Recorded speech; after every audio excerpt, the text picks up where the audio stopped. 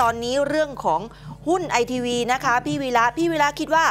มีขบวนการสมคบคิดเพื่อฟื้นสถานะของไอทีวีให้กลับมามีชีวิตเป็นสื่ออีกหรือเปล่าคะมันมันก็น่าเชื่อนะ อย่างที่คุณอะไรอะ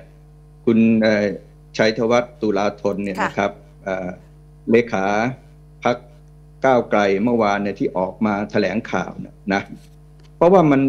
ทุกอย่างมันบังเอิญหมดเลยนะ มันบังเอิญว่าคุณนิกเนี่ยเคยอยู่พักก้าวไกล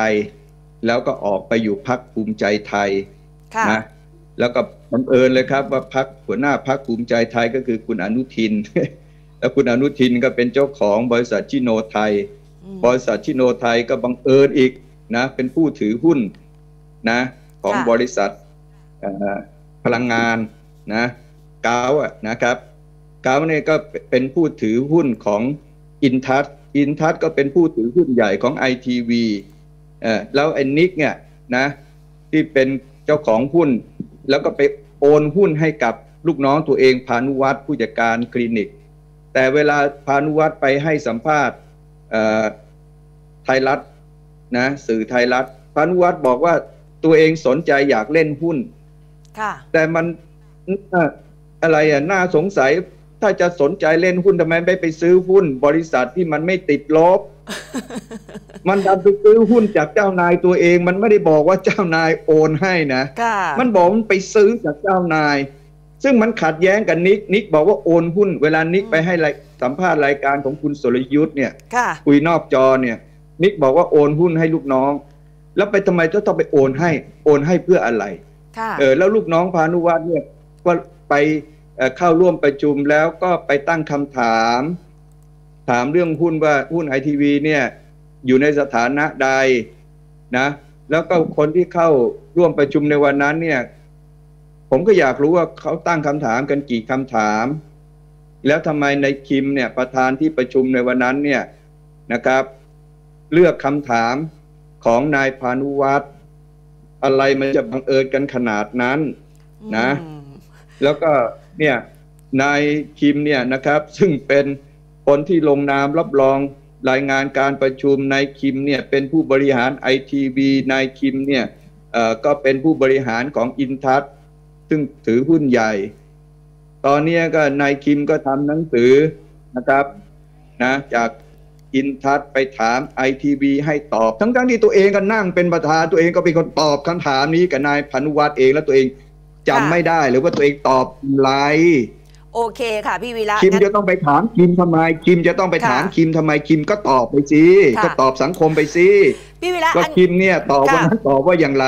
คืออย่างนี้รายการนะครับเราเป็นรายการสดเวลาอาจจะกระชั้นชิดเดี๋ยว ทีนี้มันมีประเด็นเรื่องอืมของการใช้มาตรา151 พี่วิระคิดว่าเรื่องนี้ที่กกตเขายกมาตรานี้ เพื่อที่จะเรียกว่ามาเป็นเกี่ยวกับคุณพิธาคิดว่าเหมาะสมแล้วหรือเปล่าคะ โอ้ถ้าเขาจะเล่นงานเนี่ยถ้ามีธงมันก็เล่นได้ทุกมาตรานะคุณค่ะที่ค่ะเกี่ยวค่ะข้องอะเออแล้วก็ดูนะถ้าไม่มีธงเนี่ย ถ้าไม่มีธงเนี่ย มันก็ไม่มีอะไรหรอกคุณนะค่ะค่ะมาไอ้พวกนี้เนี่ยผมว่าสังคมเขารู้อยู่นะไอ้หลักสุจริตเนี่ย มันสุจริตกันจริงหรือไม่อืมนะครับ มันสุจริตใจกันจริงหรือไม่แต่ละคนแต่ละคนที่ออกมาเล่นกันเนี่ยค่ะ นะครับค่ะมันสุจริตกันหรือไม่ คุณเลืองไกรเธอก็บอกว่าเธอร้องด้วยตัวเธอเอง เธอไม่ได้มีใครอยู่เบื้องหลัง เธอสุจริตเนี่ย เออ คุณก็ประชาชนเขากินข้าวเขาไม่ได้กินหญ้านะอืมแล้วประทีชาชนนี้ก็ก็รู้เขาก็ดูออกนะครับอืมค่ะค่ะ จะพูดยังไงก็พูดได้ คนก็จะเชื่อหรือไม่เท่านั้นแหละครับ แต่ละคนน่ะ ทีนี้มีเรื่องที่ก็ เหมือนคนอาจจะไม่ได้เชื่อกกตทั้งหมดนะคะในในช่วงเวลาแบบนี้ แล้วก่อนหน้านี้เองพี่วิระก็เคยยื่นเรื่อง ร้องพักรวมไทยสร้างชาติ มีความคืบหน้าบ้างไหมคะ ไม่ยกหมดเลยครับ อ๋อยกยกหมดเลยยกนะคะคำร้องผมหมดเลยครับ ยกค่ะหมดเลยครับอืมไม่รับไว้หมดเลยครับ ค่ะค่ะค่ะนะทั้งทั้งๆที่อันนั้นนะชัดเจนหลักฐานชัดเจนเลยครับ ผิดอะไรชัดเจนนะครับ โยนไปโยนกันมาเนี่ยก็โยนคำร้องผมไปให้กกตโคราชตอบผมมาล่าสุดเนี่ยนะครับค่ะมบอกว่ายกคำร้องผมหมดว่าไม่พบการกระทำความผิดทั้งๆที่เขาไปปราศัยกันที่โคราชปราศัยอย่างไรนะไปดึงสถาบันพระมหากษัตริย์มาเกี่ยวข้องอย่างไร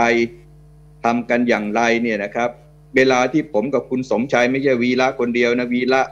นะร่วมกับสมชัยศรีสุทธิยากรอดีตกกตเนี่ยซึ่งรู้เรื่องกฎหมายการเลือกตั้งดีที่สุดคนหนึ่งของประเทศไทยเนี่ยนะเราหาหลักฐานชัดเจนมีคนมายื่นหลักฐานกับเราพร้อมที่จะยืนยันนะเป็นพยานนะครับ หากกกตจะเรียกตรวจสอบกกตไม่รับทั้งหมดครับ ค่ะค่ะเห็นไหมครับ แล้วผมยื่นต่อคุณเรืองไกรด้วยนะอ่าค่ะแต่กรณีค่ะคุณเรืองไกรเนี่ยกกตรับรีบดำเนินการให้ค่ะคนค่ะทั้งประเทศก็ ตัดสินเอาเองแล้วกันครับนะก็ก็เดี๋ยวเดี๋ยวต้องตามกันต่อ แต่ทีนี้ขอสั้น ๆ ทิ้งท้ายนะ พี่วีระพี่วีระคิดว่า